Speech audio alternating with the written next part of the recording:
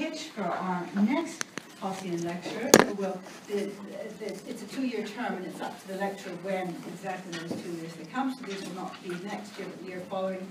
And indeed, uh, Lord Williams has already given a little bit of a blurb for her in his lecture to Calvin, because it's Marilynne Robinson, Barack Obama's favorite theologian, and of course the, the um, Pulitzer from author. So we hope you will all join us again, and of course keeping a keen eye on our website if you're not in the faculty uh, to see what other lectures are coming up.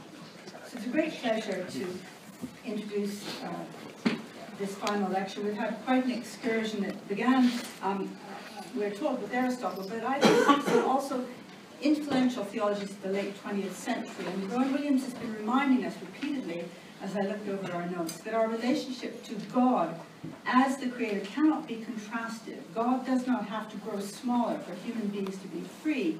He repeatedly he said that our relationship with the Creator who holds all things in being isn't a zero-sum game because God is the ground of our freedom and of all we are. So he's going back to the creative and originary dynamics of the Christian doctrine of creation, which is of course a Christological doctrine, defining it, visiting breakthroughs, then Calvin and Bonhoeffer again bringing us back to the idea that Christ coerces nothing but claims everything. This again is not a zero-sum game for, as he said last week, when I meet Christ at my edge, I find my center. So we're all looking forward to today's lecture, In Whom All Things Cohere, Christ and the Logic of Finite Being.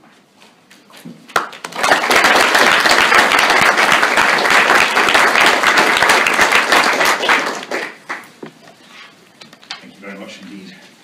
I rather hope that uh, for the Hulsean lecture, the one after next, we're not going to look for Donald Trump's favourite. Mind, I know, boggles. I want to begin this week by recapitulating some of the argument that has been underlying these lectures as a whole, and to see if we can move towards anything like a conclusion.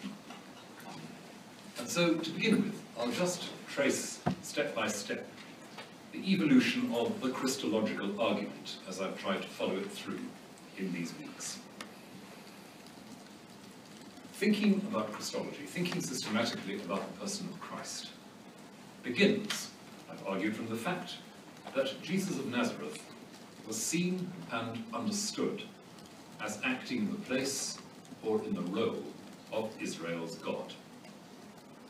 We can speak about it he was seen as bringing about the kind of change associated with God in Jewish tradition, bringing about the kind of change associated with God.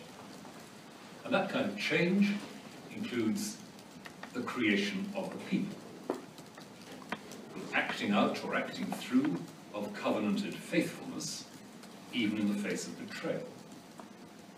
So one way of understanding the resurrection is as a restoration or reaffirmation of covenanted relation. There's the reintegration of the lost or strayed children of Abraham into the covenant community through forgiveness and reaffirmation of their status. And there's the delivery of ultimate judgment about the destiny of human individuals, whether on the last day or, as in the fourth gospel, in every event we encounter. Jesus takes the place of Israel's God. He brings about the kind of change associated with God. He calls, he forgives, he judges. But in addition to this, he was seen not only as modeling a particular style of prayerful relationship, but as actively animating prayerful relationship. By the presence of his spirit, what happens in him happens in those who are associated with him, happens in his spiritual progeny, those who are in Christ. You remember from the second lecture a discussion what it might mean to be in Christ as if in a kinship relationship, a relationship to an ancestor. What happens in him happens in the believer. And what happens in Christ is both prayer to the God he addresses as Abba, and the exercise of his liberty of forgiveness and the integration of strangers and strays into the people of God. Some of what we mean by saying that Jesus is seen as acting in the place or the role of Israel's. And the identity of Jesus and of his community is bound up with the promise of a new covenantal and communal belonging, which is open to all, increasingly interpreted as involving those outside the limits of historic Israel. And so both Jesus and his community are understood as having the responsibility of advocating for the harmony and well-being of the entire human family. Jesus and the body of Christ are there for the well-being of the entire world, what the theory we were thinking through last week. So these themes of Jesus who takes the part, the role of the God of Israel, who also speaks as advocate for the human family, and all the themes that radiate from those, these are seldom, if ever, laid out systematically in Christian scripture. But they do represent the convergent ideas and images of a spread of very diverse writers in the first Christian generation. So that's where we begin. But the paradox in this picture, of course, is the simultaneous affirmation of prayerful dependence and divine initiative. Prayerful dependence and divine initiative.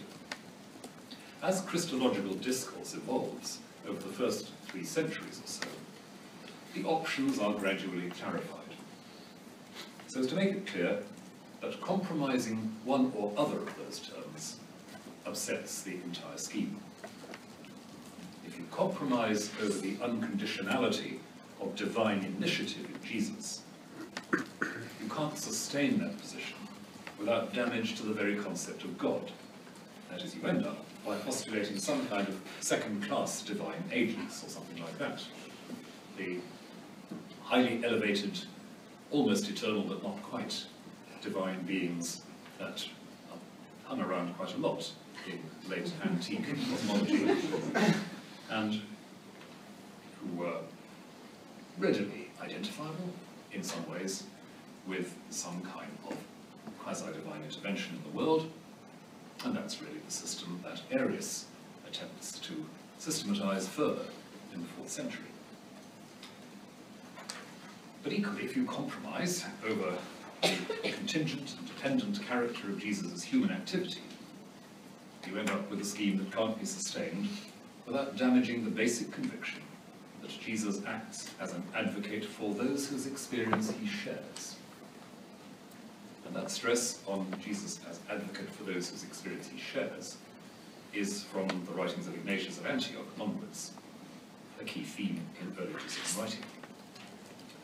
So weaken the emphasis on divine initiative, weaken the emphasis on human solidarity, and the entire pattern dissolves. That then is the paradox, which is to be addressed in early Christian speculation. And the first step, the only first step in resolving this, is the Nicene doctrine of what might be called an analogue of createdness within the divine life. That's to say, within the eternal divine life, there is a way of living the divine life in the mode of receiving and responding, which is at the same time truly divine in being possessed of unconditional freedom and so having the inseparable effect of divinity within the finite world. There is within God something like the dependence of the creature, really this, the dependence of the Word or the Son or the Father. And the second step, beyond Nicaea, is to begin to explore what might then be said about the union of this dimension of divine life, this way of living the divine life, with an actual finite inhabitant of the universe. As we've seen, the necessity of conserving the two poles of the original discourse, dependence and liberty, means that it's not possible to locate God as an agent among others within the finite order. Grammatically, so to speak, God can't be intelligibly represented in this way, so that any affirmation of divine agency within the finite world must be in the form of genuinely finite action. Basic paradox. The infinite can only act within the finite, in finite form. And the post-Chalcedonian model, which we looked at in the third of these lectures, of the composite hypostasis of the eternal Word, offers a structure which allows us to say that God is literally and personally acting within the world, but does so in the sense that a finite agent, Jesus of Nazareth, acts in such unbroken alignment with the Word's way of being God, acts in contemplative dependence, unrestricted response, in unbroken and unconditional filial love and self-giving, that the effect of this action is continuous with the effect of divine action in Israel's history, and ultimately with divine action in the act of creation itself. Now, in the writers of the patristic period, notably Athanasius, there are hints that the eternal generation of the Word in the life of the Trinity is a sort of eternal type and ground of the bringing into being of a finite world. That God is Trinity, that the life of God is generative of relation, is a key to seeing creation as free, but speak, not surprising. That's to say, given the kind of God you have, it's the kind of thing such a God might do. Not that one can ever stand outside and make that kind of calculation, if you see what I mean. And I think what Athanasius is saying is there is therefore a continuity between the way in which the everlasting God generates within the divine life, that relationship, and the generation of relationship with what is not God. The Word, as the eternal form of dependence, is the ground, and the optimal form of dependent reality. Creation's relation to God, in other words, is in some sense analogous to the Son's relation to the Father. And since the Son's relation to the Father is not that of one thing to another thing, but an unimaginatively intimate existence in the other, a non-duality that's not a simple identity, since that's the case, we are steered towards a similar model, not identical, but similar model, of the relation between creator and creation. Creator and creation are not two items that could conceivably be partnered in any list. There is no whole of which creator and creation are two bits. But the difference, what makes this an analogy, not a parallel instance, is that this relational complex, in the case of the Father and the Son, is eternal and entirely reciprocal. But in the case of creation, it has a beginning and is asymmetrical. God would be God without the world. And yet, this presumably is something like Bonhoeffer's point in some of the texts I was looking at last week. Yet, God has so acted as to make himself not conceivable or speakable outside this relation.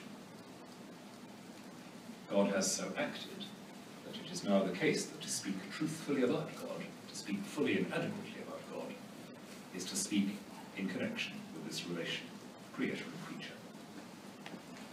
And so the relation between creator and creation is like that of the eternal hypostasis of the Word to the human substance that is Jesus, as it is described both by the Byzantines and by Aquinas. The Word, remember, is what it is, independently of any created state of affairs. And the created state of affairs that is the life of Jesus comes wholly upon this prior unified eternal action. But if we want to speak adequately and truthfully of the word in action, we speak of Jesus above all else. And we understand the unity of the word's action as embracing, sustaining the event of Jesus, and of that event being itself divine word and divine act, enabling our word and our acts of To speak of the relation between creator and creation as analogous to that between father and son is a risky and complex business. But I would say that it is one of the things that emerges out of the consideration of the history of Christological discourse, making some kind of sense of the complex way in which we want to say of divinity and humanity of Jesus, there is alterity, there is otherness, but not the otherness of summing things together, otherness of addition or accumulation. And that means, of course, that there is no alterity between creator and creation or word and humanity in Jesus, as we normally understand alterity, otherness. Just as there is no alterity as we understand it between Father and Son. They are not two instances of something. But the further and in some ways more interesting implication is this that creation is most fully itself when it is aligned with, sharing in, the kind of dependency which the Son has towards the Father. The goal of creation as such relate to the Creator as the Son does to the Father. Creation, therefore, must include the possibility of finite creatures endowed with love and intelligence after the image of the Son. The focal point of the created order is then this love and intelligence, which we recognize as distinctively present in humanity, as far as we. We have no knowledge of what other instances there may be in the universe of love and intelligence, and how they relate to incarnation or Trinity. We do not know the theology of Alpha Centauri. We don't need to. But from our point of view in the universe as we experience it, creation is at its optimal level of action and well-being when finite love and intelligence are in accord with the uncreated love and intelligence that the Word eternally exercises. And this is the sense in which Christ is at the heart of creation, or the apex of creation, depending on which sort of imagery you prefer. Christ at the heart of creation as the one in whom, as finite substance, the movement the energy of eternal filial love and understanding is fully active. If we take a broadly Thomist viewpoint, this represents the restoring of a lost or occluded capacity in humanity, the restoration of the capacity to be a mediatorial presence in creation. But, although humanity, with its love and intelligence, is created to hold that unifying and mediatorial position of creation, a lineage of failure has been created, a lineage of deprivation and distortion, so that the new beginning of the event of Jesus Christ has to establish a new kind of lineage, a new kinship, as I call it. And as Maximus the Confessor's vision of the universe affirms, this healing of humanity and its capacities unlocks the possibility of a universal reconciliation, a reconciliation figured in the sacramental life of the body of Christ. So we moved from the initial puzzles, you might say, over the dual perception of Jesus. A perception of divine initiative and divine effect, a perception of dependence. Moved from that through to the complicated disentangling of the divine and the human that the first three centuries of Christian theology represent, and having disentangled two threads, they are now being woven together, plaited tightly together once again in Byzantine and medieval so that we understand that it is in virtue of the Word of God being unequivocally possessed of the divine initiative that we can speak of the humanity animated by the Word of God as unequivocally united with our humanity, and in that union doing something that affects and transfigures the possibilities of the entire creation. So that the body of Christ, kinship of Christ still existing in the world, has a key role in creation itself as it now works or fails to work. So that's the kind of story that I've been trying to trace in these lectures. The way in which, from an apparent aporia, apparent brick wall, in the original conceptuality, we move towards a metaphysic of difference, analogy, participation.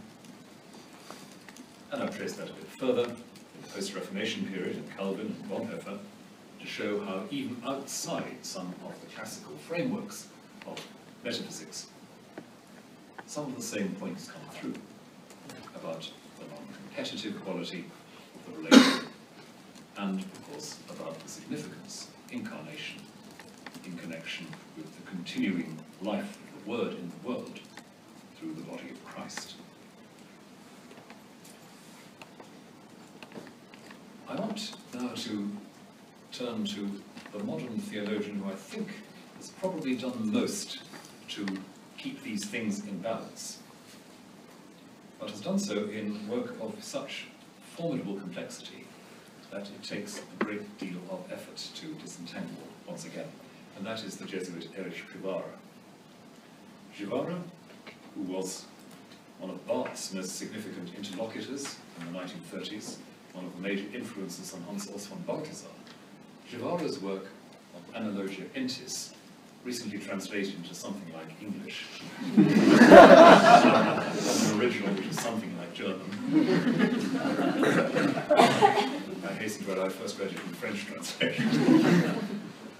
Przywara sees his metaphysic of analogy as Christologically focused, because for him, what we say about God as the unconditioned fullness of active existence must be, therefore, an affirmation that in God is also a possibility of finite representation infinite diversity. And so Przywara, in Analogia Entis, says that God is the middle through whom all the antitheses pass. The antithesis between the one and the many, the antithesis between the finite and the infinite. And that positioning of God in the middle, the God in whom these apparent contradictions converge, that is known to us, enacted for us in Jesus Christ. So he writes, Christ appears as the reality of the way in which God, the middle, takes up the all, the unifying head of everything.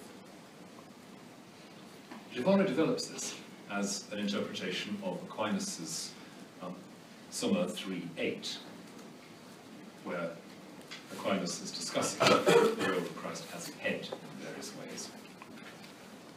And again, you see what I mean about the style, in Christ, the below of the creature is assumed into personal unity with the infinite above and beyond. And this assumption of the creature below into the infinite beyond is not only a manifestation in human form, not a showing forth an epiphany of divine life as such. It's a manifestation in the form of the cross. We'll see what this means later. It's the cross, the humiliated, finite existence of the Word, quote, rather than some neutral crown of creation, that is the means of assumption of the finite into the infinite. Only in the incarnate Word is it possible both to be directly in contact with infinite activity and to grasp the always greater, the semper major, of theological analogy.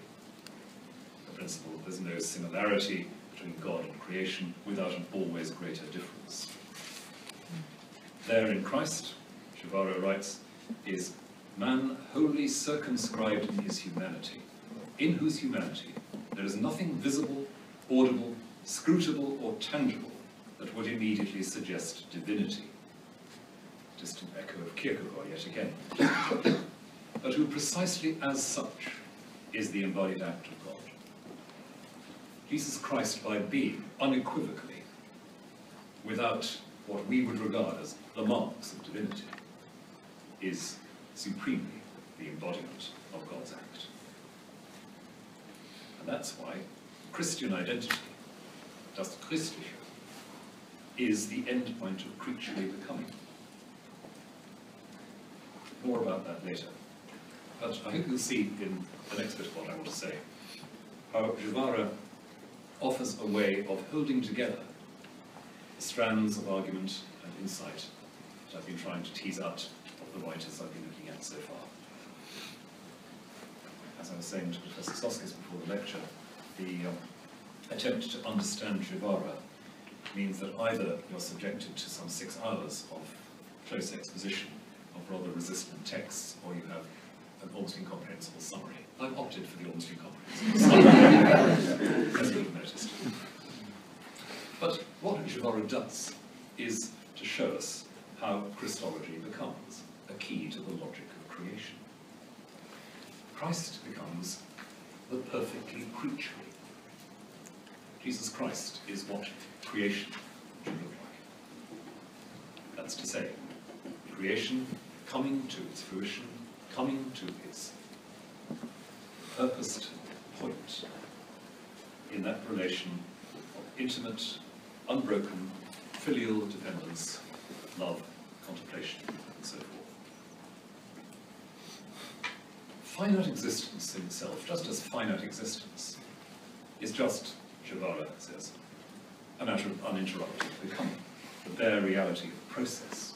But of course, finite existence is never just in itself. It's always in relation to the infinite. It's always being drawn and shaped by the infinite act from which it draws its origin. Finite existence doesn't simply lie around existing. It has a history of responding to the gift of the infinite.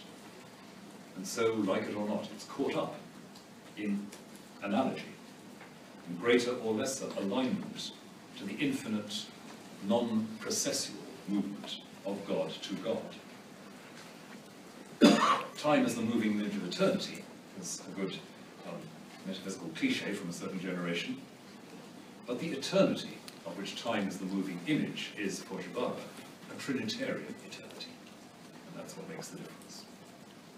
The movement of God to God, of Father, Son, and Holy Spirit, into and through and with one another, that movement, that perichoresis, the Trinity, that is what the movement of finite reality towards full communion with God images. So in embodying the Word's relation to the Father, Jesus embodies also the maximal and optimal relation of creature to creator. And he does so as unequivocally finite, fully human. Exercises human nature as it is created to be.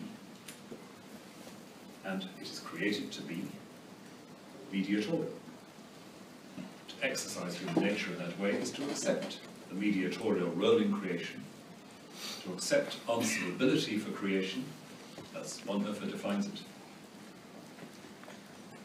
And just as the Word and the Father, as I've said, are not two egos who could only expand into each other's space, so Creator and creation are not two determinate substances locked in rivalry. The perfect, supreme, unique presence of the infinite in the finite is a moment where we can speak of a perfect creatureliness. That's the paradox. That's also the focal insight of Przywara's theology and metaphysics, and I would suggest it's the natural working through of the Christological themes we've been examining. And to refer again to a very different metaphysician, the one with whom I began these lectures, Austin Farrer. Farrer writes once again in The Glass of Vision on the very concept of a supernatural act, which must, he says, be an act absolutely continuous with natural activity. Otherwise it wouldn't be the agent's act at all. It's never cut off from its natural base, but it's also an act enabled to receive the maximal flow of infinite energy according to its capacity. And while the idiom is different, as I say, the insight, I think, is comparable. For Jesus to be the embodiment of the Word of God is inseparable from Jesus being perfectly creaturely. No finite system of action can be God, since every finite system of action is reactive, composite, and so forth. And the integrity of such systems has to be preserved if we are to understand the gratuity of creation. And that's why God must, must in inverted commas, must act in a finite world through finite means. God cannot be identical as God with one agent among others in a sum total of agents. Otherwise his act would dissolve the integrity of what is made. The doctrine of the Incarnation clarifies this double grammar of God and creation. So going back to Przywara's Analogia Entis, in fact this time to some of the rather later essays that are appended to the later of that work and appear in the English translation. This, in particular, an essay um, between metaphysics and Christology.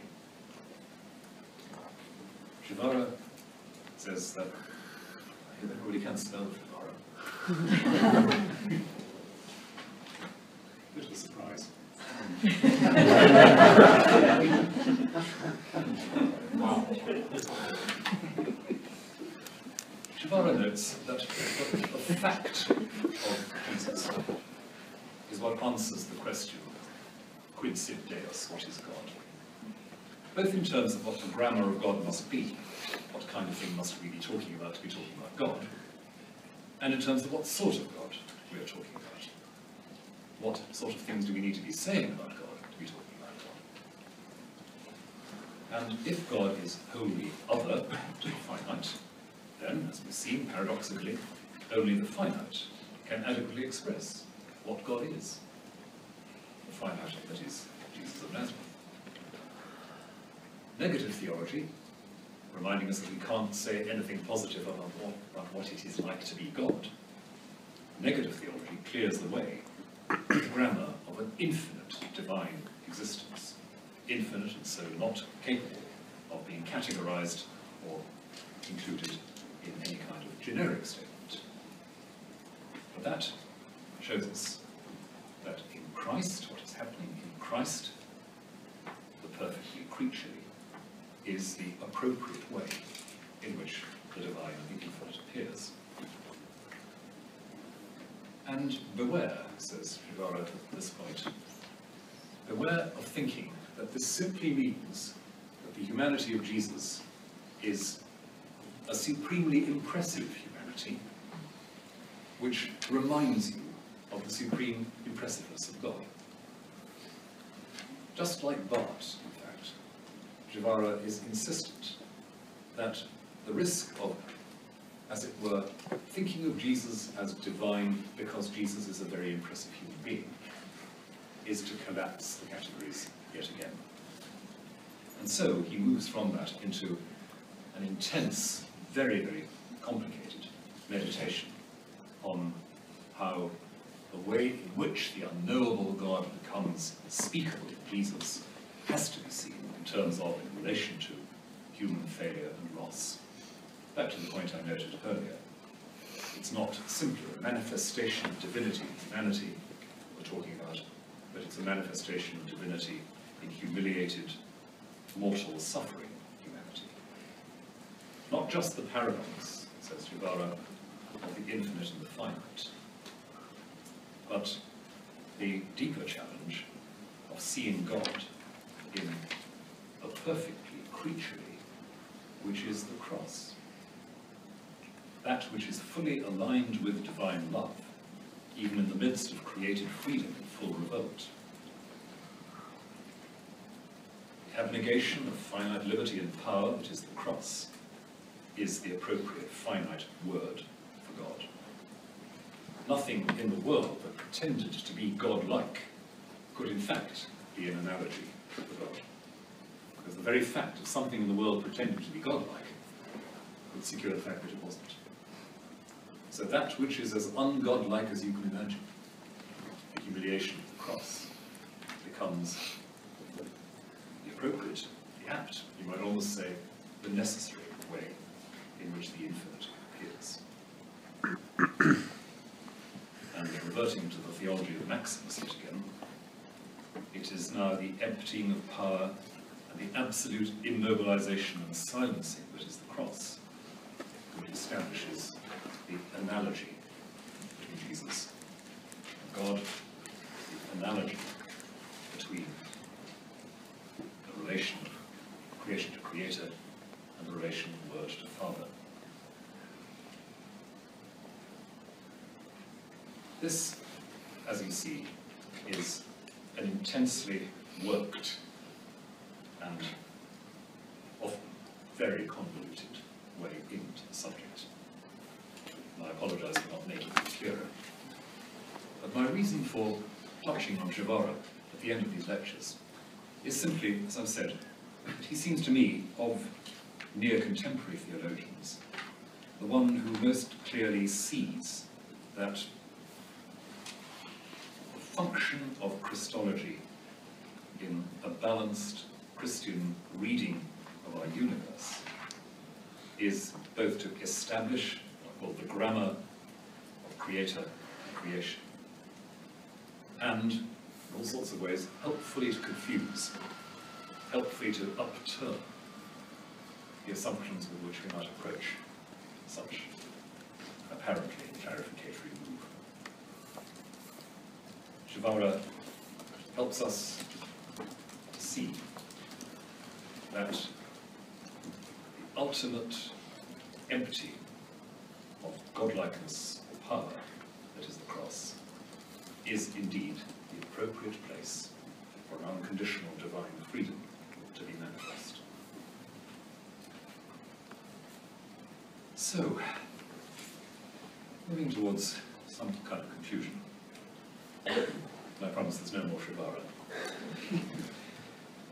I've been arguing that the analysis of the Christological tradition illuminates not only the grammar of God, what do we need to be saying God is in order to be talking about God, not only the grammar of God, but the mode in which God may be spoken or spoken of. If Przywara is right, the cross is where God is most spoken, most clearly audible in the silence of Christ's death. And therefore, for us as believers, God becomes speakable in our shouldering of the cross, in Bonhoeffer's prayer and just action, in the self-dispossession of prayer and the taking of responsibility for well-being of neighbour and world. God becomes speakable in a licensed theory, but in a mode of life which embodies that crucified surrender. Likewise, what has to be said about God becomes inseparable from ecclesiology, from the doctrine of the Church. Because throughout the interpretations of Christology we've been looking at in these lectures, the themes come back again and again. That Jesus of Nazareth is compelling, interesting, converting, startling, because it's theologically impossible to treat him as an individual. We are in him. We are his progeny. We are his kin. And he's not seen or understood apart from his kin.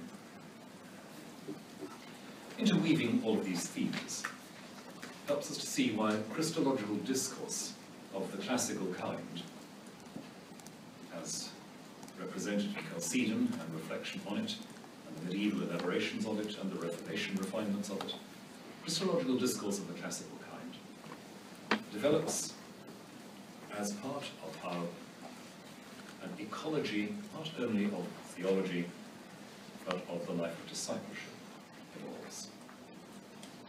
And to see how all these things interweave helps us to see why it's still, I'd say, crucial to the balance of all theological language and theologically informed action.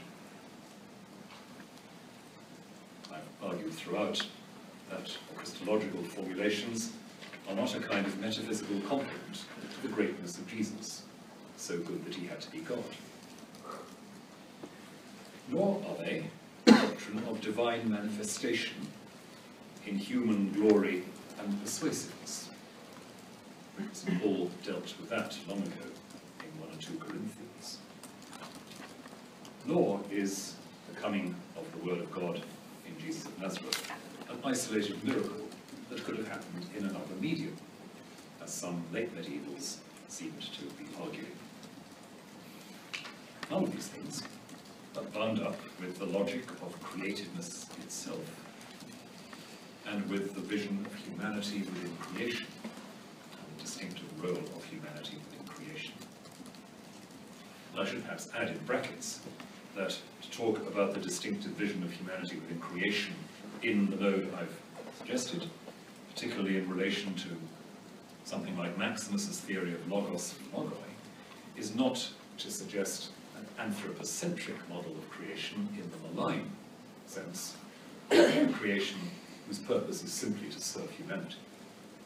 On the contrary, humanity is at the center of this cosmology, it's the other way around.